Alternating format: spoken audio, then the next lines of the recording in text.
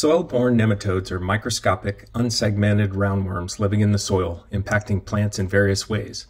They could be plant parasitic, causing root damage, stunted growth, yellowing leaves, and wilting by feeding on plant roots, or beneficial by aiding in organic matter decomposition and pest control. These nematodes have life cycles that include egg, larval, and adult stages, and their presence can lead to significant root damage and disease transmission.